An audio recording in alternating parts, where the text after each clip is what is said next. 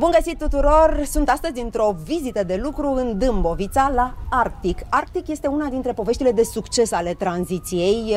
Multe branduri care au fost în România înainte de 1989 nu au rezistat după Revoluție. Ei bine, Arctic a rezistat. Cu siguranță e aici o poveste de succes. Haideți să o aflăm împreună astăzi.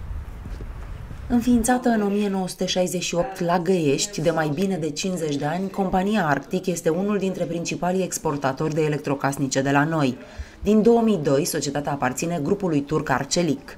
Arctic, which is the very well known uh, brand in Romania, and we are very proud of a part of it in Romania. Ce faci? Uh, bună seara! Bine ați venit, of course! sănătate, noroc. O mașină de spălat automată pe vremuri era visul oricărei familii. Ei bine, acești oameni de la Arctic au răspuns nevoilor tot mai exigente ale românilor în acest domeniu și au supraviețuit. At that time, we decided Romania will be our second biggest base in the Europe, and starting from year 2002 and this day, we are keeping this target and always we are investing whatever we earn Investitorii turci au deschis la Ulmi, în Dâmbovița, prima fabrică din România ce funcționează după principiile celei de-a patra revoluții industriale, care folosește cele mai avansate tehnologii ce pot spori productivitatea cu 30%. Fabrica este în cărți pentru a primi cea mai înaltă certificare pe care o poate primi uh, o astfel de unitate. Industry 4.0 nu înseamnă numai productivitate crescută, ci și atenție pentru un viitor mai bun. Consumul de energie per produs se va reduce cu 28%. Apa folosită în procesul de producție va fi reciclată și refolosită în proporție de aproape 100%.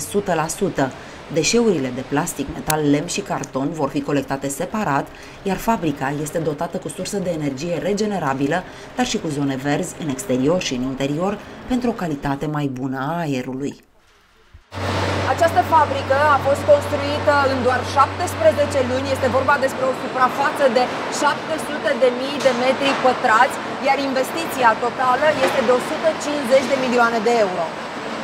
Noua fabrică, a doua unitate de producție, este axată pe mașini de spălat și va avea o capacitate de producție de 2,2 milioane de unități pe an. Only in Romania, with our Găiești plant, we are producing approximately 3 million products. After this factory become operating, operating in full scales, we will add 2 million more. So uh, it will be very, very strong base, production base for Arçelik in Romania. În această fabrică întâlnim des astfel de roboței. Mi s-a spus că mă pot pune în fața lor pentru că se opresc atunci când întâlnesc un obstacol. Sunt uh, mașinării care pot transporta până la 2 tone. Mă dau la o parte, pleacă. Ia să vedem, pleacă dacă mă dau.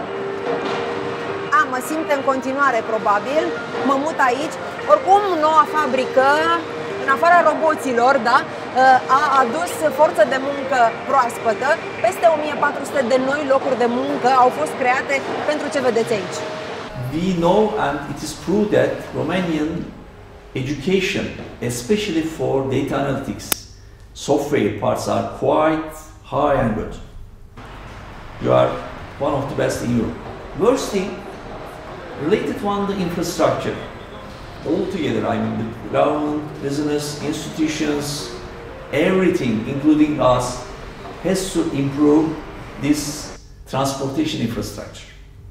Cei drept, infrastructura deficitară frânează semnificativ afacerile în România și o știm cu toții. Cu toate acestea, de aici, din această fabrică, vor pleca mașini de spălat în 85 de țări din lume. Vă dați seama, Egipt, în Corea, în Franța sau în Italia, o familie va avea în casă o mașină de spălat pe care scrie fabricat în România. Este povestea de succes a unei societăți care are motive să rămână în România mulți ani de acum înainte.